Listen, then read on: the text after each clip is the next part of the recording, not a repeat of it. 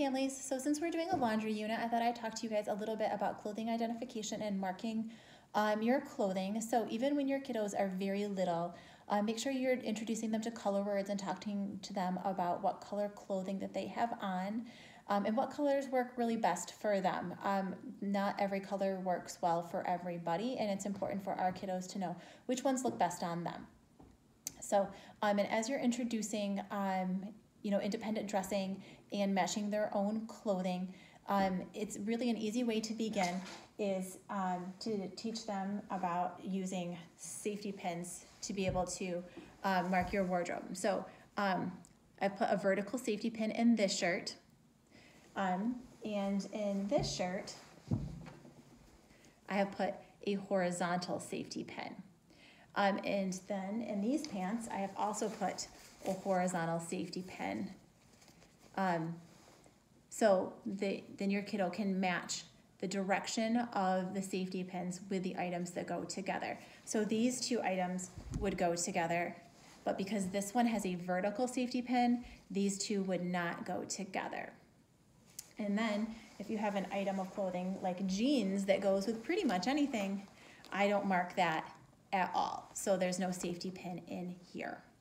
Um, so safety pins are a really great low cost way to be able to mark your kiddos um, wardrobe. As they get bigger, um, the safety pin can um, you can do more safety pins to mean different things. Uh, maybe two safety pins would mean a blue shirt and three would mean a red or whatever your organizational system um, would be. You can buy um, small metal braille tags to sew into your kids' clothing that indicate the color. It's another option. Um, you can use buttons or beads um, for identification as well. Um, but uh, I think safety pins are probably um, in everybody's um, house someplace, and they're really easy to be able to teach your kids to be able to use.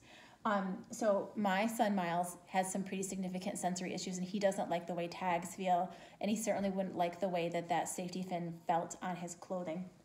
So if your kiddo also doesn't like the way that that feels, um, you can always mark the bottom seam on the inside um, with a small safety pin with the same system um, so that they would be able to match and identify what those are without being able to feel it and feel uncomfortable. It would also be pretty discreet down here at the bottom. Um, so there are some higher tech ways you can buy color identifiers. You can get apps like TapTapSee to be able to um, tell you what your clothing is um, as another option.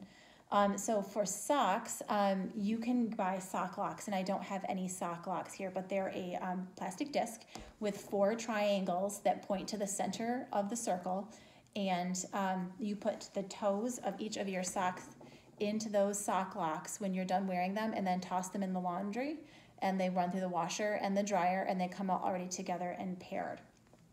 Um, so I don't have any sock locks at my house, but what I have done is I bought my kids um, and my husband all the same sock. Every single sock is exactly the same. So um, anytime that they have a sock, it goes with one other sock that they have, um, which is another option um, for you guys. Um, another way to identify your clothing um, is sometimes just by what the clothing is. you might have a sweatshirt that has a zip up um, or a hoodie or the different kinds of buttons. Some are round, some are smooth, um, and some have bumpies or ridges. Um, so those are all other options. Collars are another way to tell. So being able to pull those pieces out, um, show them to your kids and have them to be able to identify what those are so they can increase their independence and be able to make choices for their um, self. So if you have any questions, please feel free to reach out. Thanks.